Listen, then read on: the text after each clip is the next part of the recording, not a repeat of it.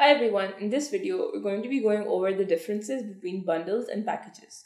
So oftentimes people do confuse bundles and packages in our system and to make that difference clear, we'd like to give the example of bundles as items that are loosely associated with one another, whereas packages are when items are bound to each other.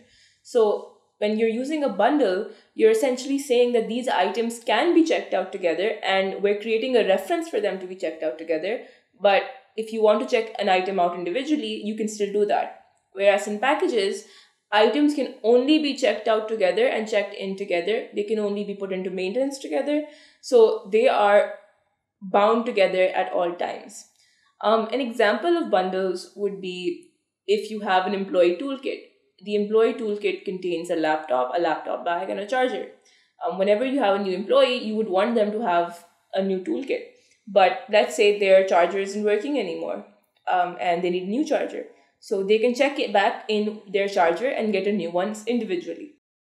Um, so in that way, the bundle is a loose association which helps you to track items together but doesn't bound you to use them together.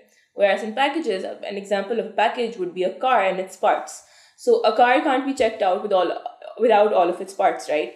So in that case, whenever you check out a car to someone, you're essentially checking out all of the parts alongside it. And you can't perform maintenance on one of the parts alone. The whole car will go into maintenance if you do so.